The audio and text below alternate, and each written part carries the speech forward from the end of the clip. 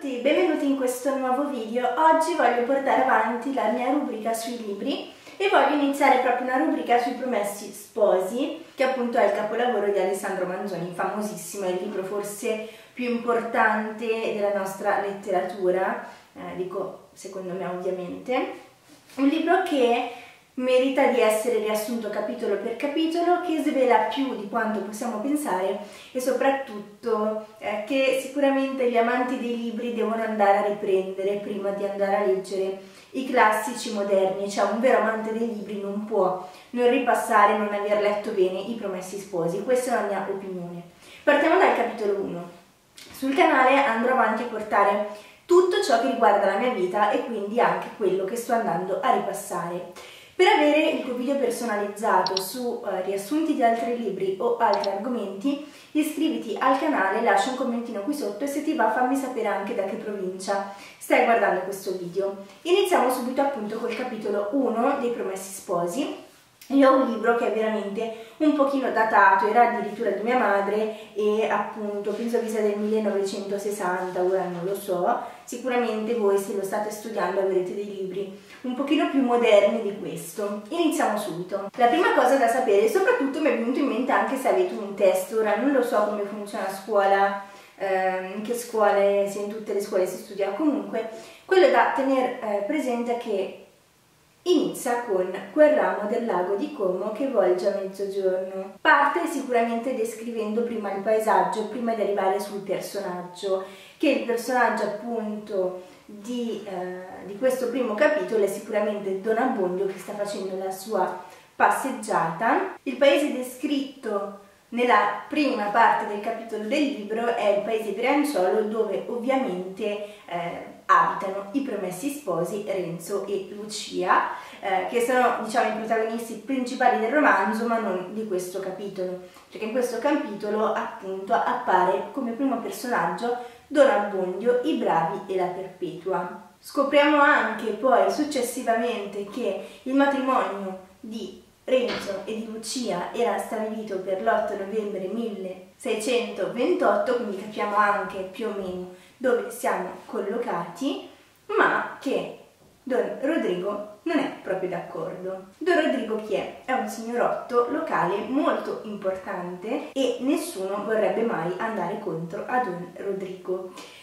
Infatti, qua vediamo comparire la figura dei bravi che interrompono la passeggiata di Don Abbondio. Vediamo appunto il curato Don Abbondio che sta facendo una passeggiata verso casa come ogni sera, quindi percepiamo anche che in realtà è una persona abitudinaria eh, che appunto sta facendo la sua passeggiata verso casa e vede queste due figure che aspettano qualcuno. Percepirà poi che appunto queste due figure stanno proprio aspettando lui.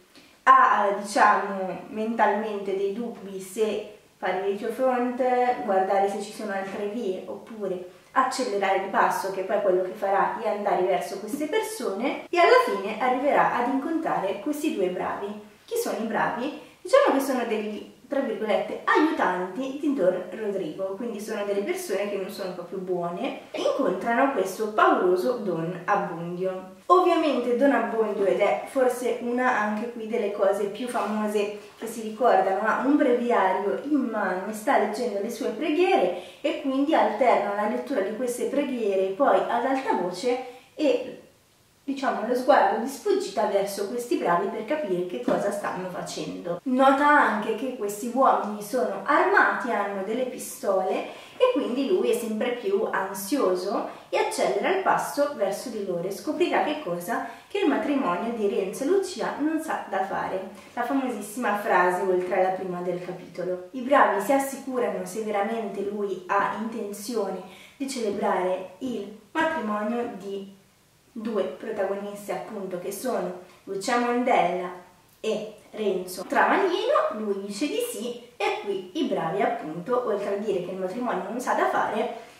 danno degli indizi specifici, ovvero che nel, nel caso in cui Don Abbondio provi a celebrare questo matrimonio oppure provi a confidare questa conversazione a qualcun altro, cose non si metteranno poi così tanto bene. Quindi nonostante provi comunque a dire ma io sono un curato, devo comunque celebrare questo matrimonio, capisce, percepisce dalle frasi degli altri due bravi che c'è il rischio della sua pena di morte, tra virgolette, e quindi conviene non celebrare questo matrimonio. È che Don Abbondio va verso casa sua pensando a che cosa potrebbe inventarsi con Renzo, come fare, cosa avrebbe potuto dire a questi bravi, ha mille dubbi. Ed è qui che arriva la figura della Perpetua.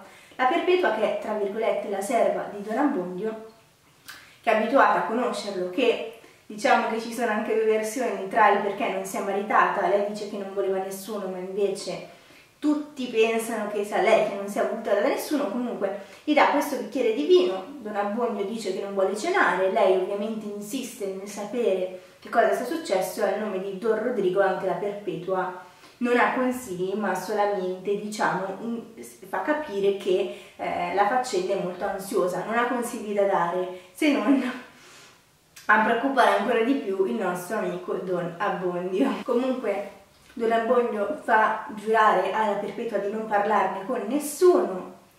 La Perpetua prova a dare qualche consiglio un pochino così, ma Don Abbondio non vuole ascoltare, giustamente molto impaurito, e decide di coricarsi. Devo dire che avendolo riletto in mia volontà e non obbligata da un insegnante, mi sta piacendo molto. Eh, devo dire che forse, come me, moltissime persone percepiscono tutto quello insegnato a scuola come una forzatura e quindi come una palla a volte, ma in realtà questo romanzo è davvero veramente il più importante forse della nostra letteratura e quindi merita di essere letto come si deve, non perché obbligati da qualcuno, ma perché appunto per avere un po' di cultura anche generale e letteraria. Sì, mi è piaciuto molto, continuerò a leggerlo, quindi iscriviti al canale per avere tutti gli altri capitoli riassunti e fammi sapere di che altro libro hai bisogno. Ti mando un un grosso bacio e noi ci vediamo nel prossimo video. Ciao!